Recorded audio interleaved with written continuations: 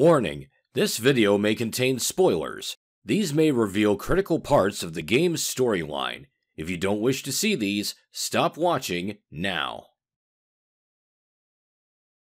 Hello again, my friends. Eric Pearson here, and it's been a while since I've shared with you any playthroughs of Space Crew, but they've made some significant improvements to the game that I'd like to share with you. This begins a set of playthroughs in which I show you the final four missions of the game. So, this is another spoiler alert if you didn't see the first one. If you don't want to see how the game ends, stop watching now. Okay, so now that I've gotten that out of the way, let me show you around a few things. First, I want to share with you some changes I've made to the ship. It's no longer the Irma Felna. I've now renamed it the Unstoppable, and in honor of my late father, I've painted it orange, his favorite color. So let me show you the weapons that we've got. In the front, we've got a combination plasma cannon and railgun. In the back, we have a plasma cannon and missile launcher. And the missile launcher is a Mark III, so a volley of eight missiles at once. So these two weapons combined make for a very effective fly swatter. And then on the side, believe it or not, I've got more missiles, left and right. So it's an interesting and different kind of gameplay from when I had the chain guns, but uh, it's it's still a pretty effective way to go. And I'm maxed out on armor, engines, shields, you name it. So let me share with you a couple of things about the crew gear. Now, one thing I did a little differently this time is that our engineer, Tyza Powell, has magnetic boots.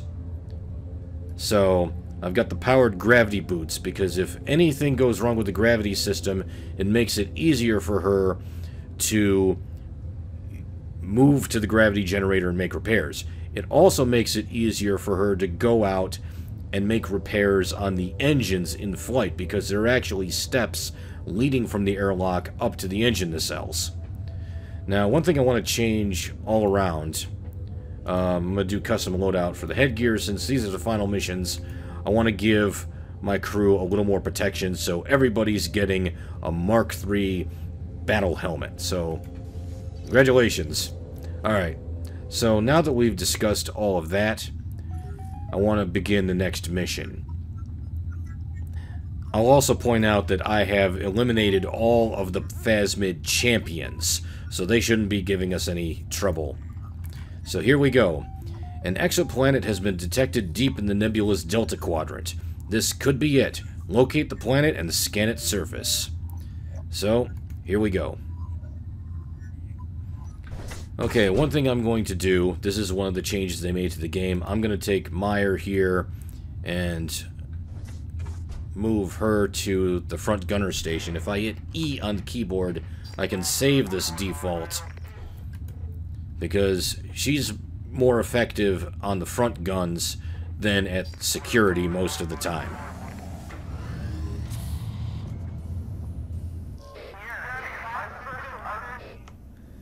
Okay, so let's navigate to the fastest route.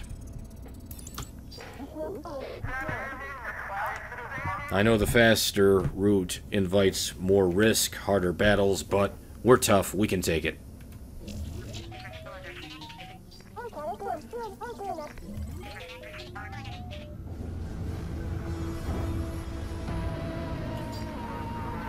Alright. Let's get our bearings here. Okay, the central binary star system. Okay, let's get everybody ready, because enemies are incoming, so... Focus fire and boost on our four gunners. And, hey, Powell, how about you give us a boost on shields, weapons, and engines. So, this is it.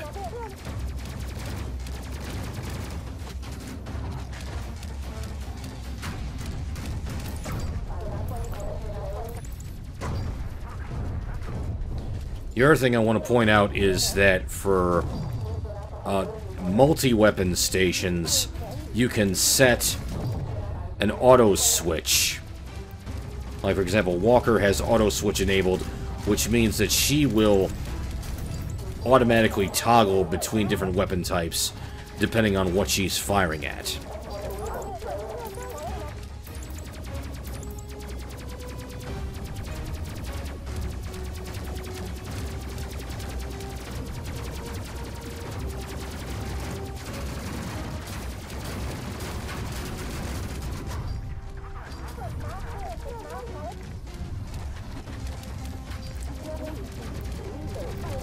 Uh-oh, we got a roadhog in front of us. Beep, beep, get out of the way.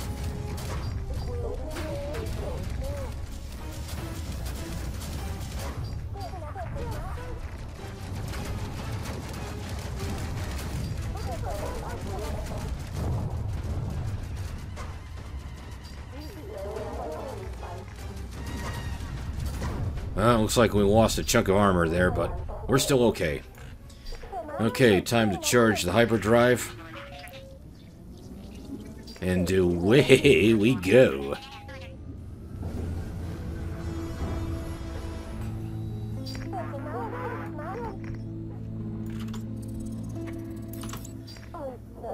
Okay, time to head for the Delta Quadrant.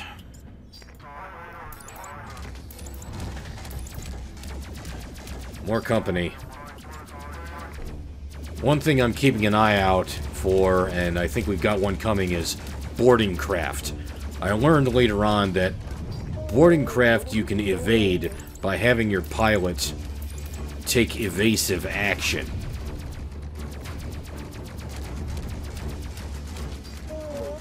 That's a lesson I wish I'd applied sooner.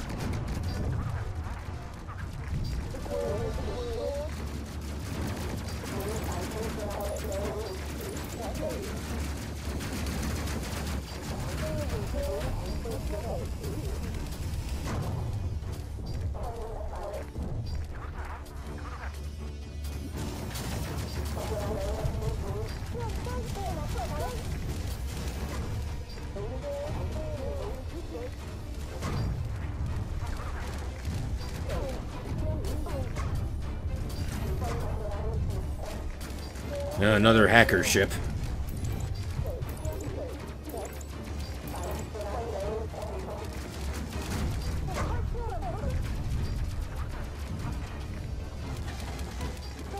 Oh, yeah, that's that's a boarding ship. Okay, get ready to do evasive action. Wait for it. Okay, looks like we took him out before we needed to. Yes, I could call for help, but I'm not sure we need to right now.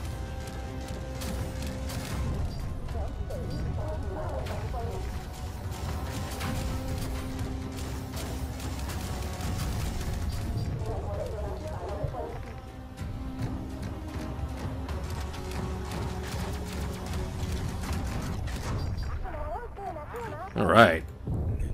Doing good. Time to charge up the hyperdrive. I mean, I know our shields are taking a beating, but our armor is still fairly intact.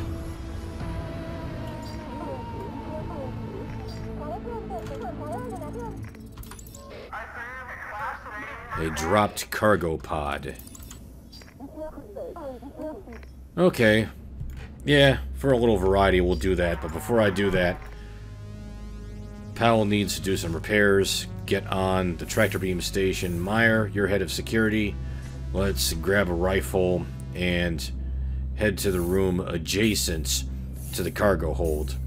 Because oftentimes we bring things aboard and it winds up being an attempt at alien inf infiltration.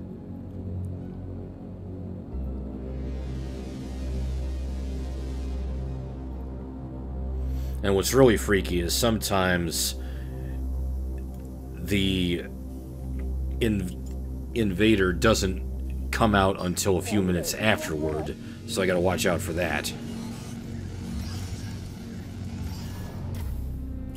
Okay, I'm gonna have Meyer wait there a bit.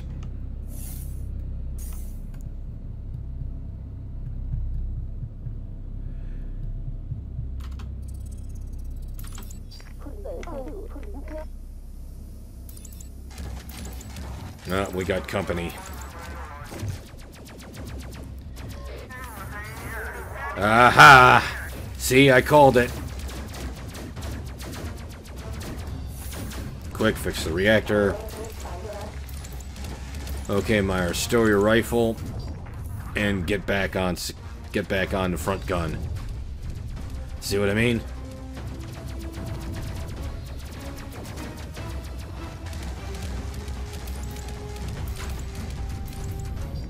You can see how those missiles make for a powerful deterrent.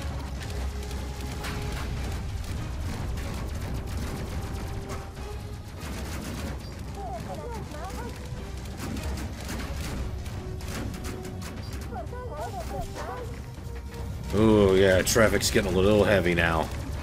Okay, I got an idea. Chavez, give us a juice on the shields, please.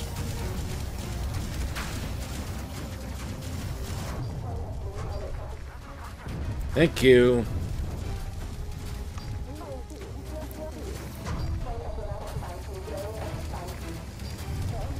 That's why I have Chavez cross-trained in security matters. Whoa! Oxygen system's got a problem.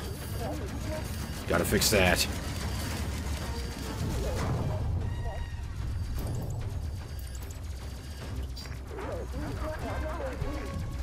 I should point out that uh, Powell has special engineering gloves to make repairs even faster.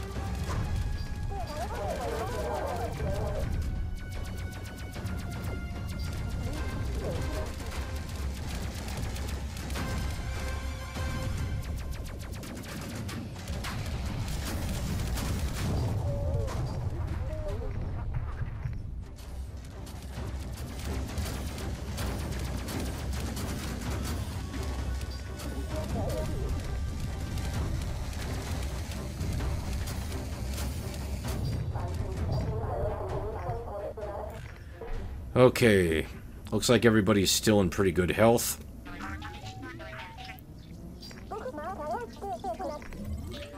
I think having those stronger helmets is helping. Ooh, pretty crystals.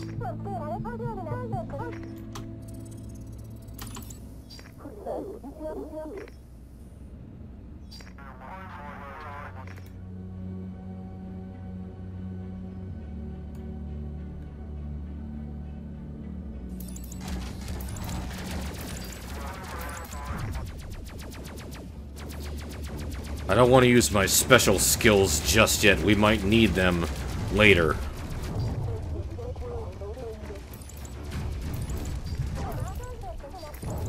Oh boy. Got some radioactive mines. Uh... Oh, that was a close one. Almost got boarded again.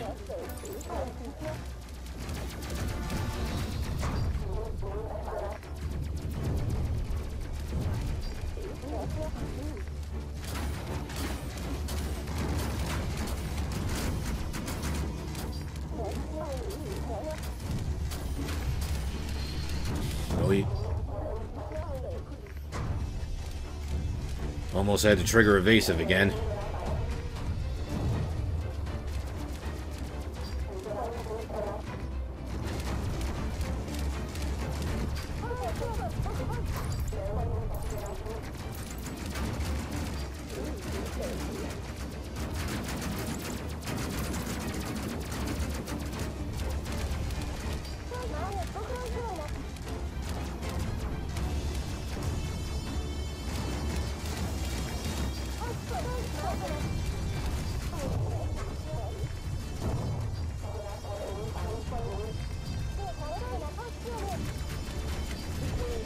Okay, are we recharged on that special ability? Let's find out. Yes. Well, we don't need it now. oh. Uh-oh. We got an engine that needs repair. Okay, Powell, put on your suit, go out and fix that. Now watch what I mean about Powell goes up the stairs instead of floating.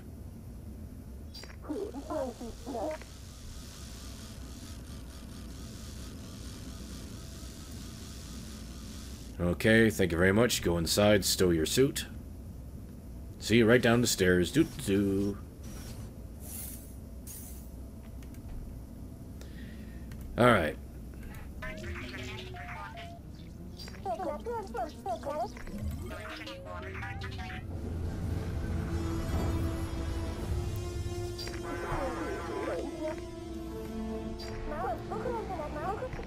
Okay, there's the there's the exoplanet. So now the big question is, is this the Phasmid homeworld?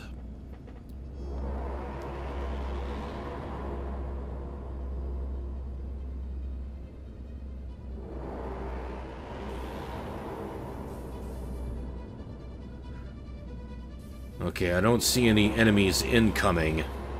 If we do, I may be able to activate stealth mode to buy us a little time.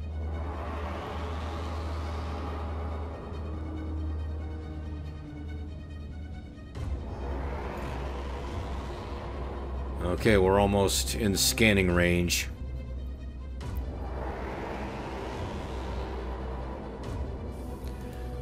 Okay, let's scan it.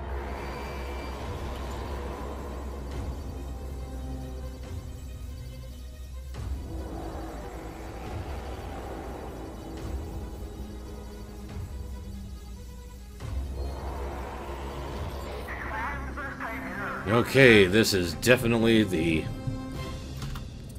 Definitely the Phasmid homeworld. Okay. Chavez. Stephanie, get on stealth mode. So now we're in stealth mode for the next 40 seconds.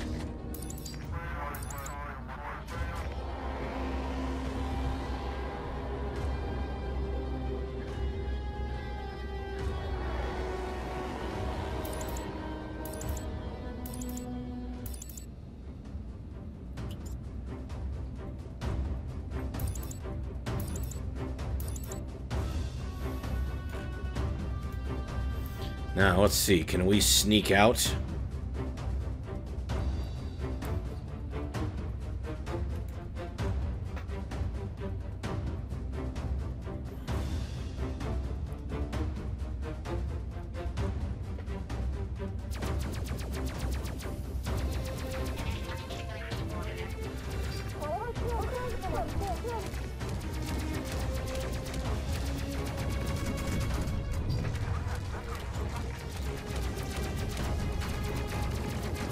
Come on. Four seconds.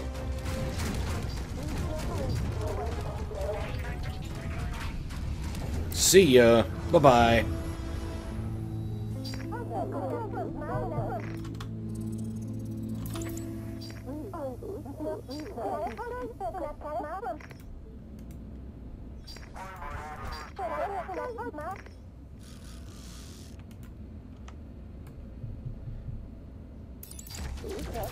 Okay, time to break out the big guns. Focus fire and boost on all my gunners.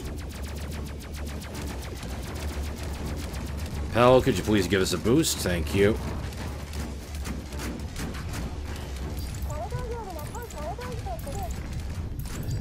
And looks like we got a boarding craft.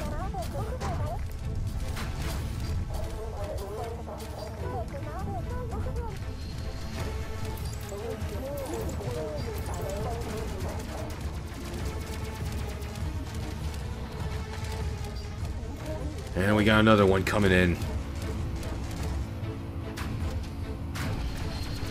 Evasive.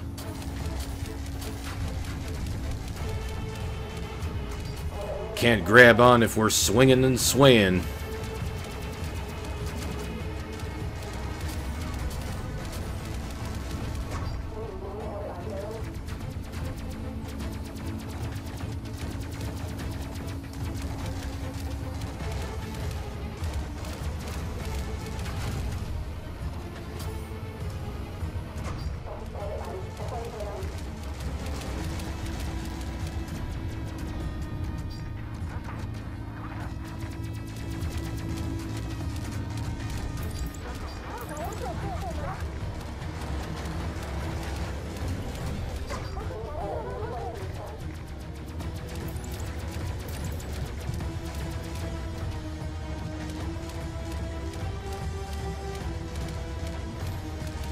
Looks like we got a mine layer.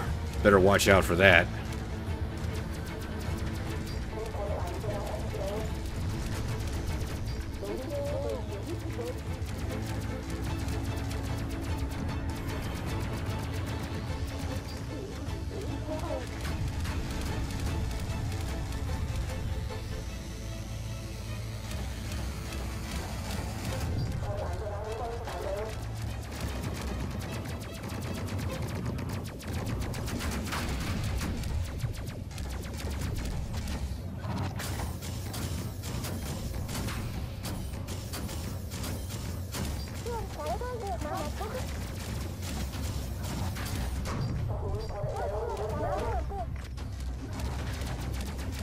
Looks like we got one gun ship left.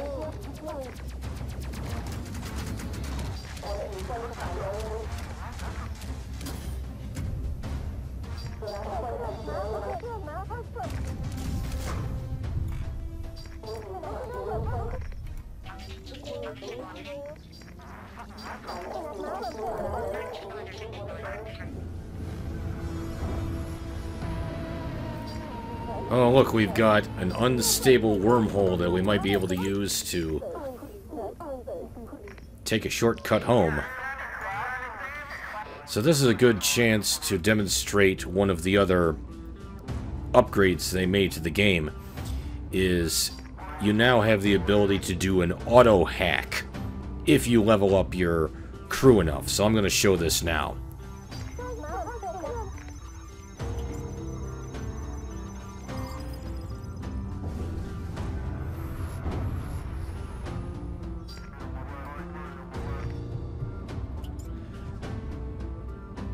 That was pretty good. Sometimes...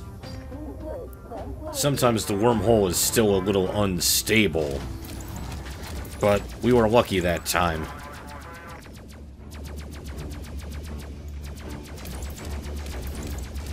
Okay, once again activating focus fire and boost.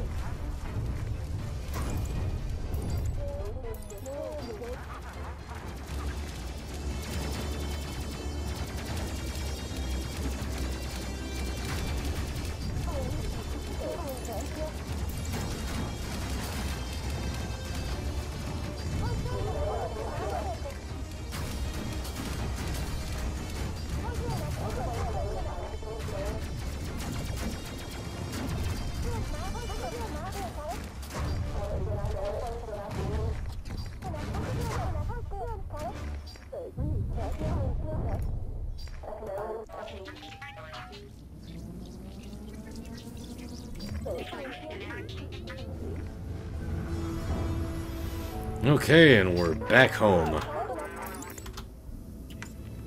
Well done.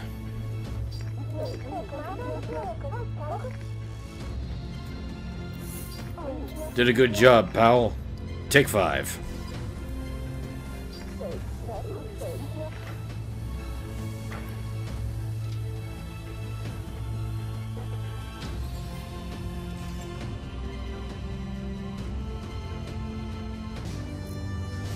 Okay, so we've investigated the exoplanet.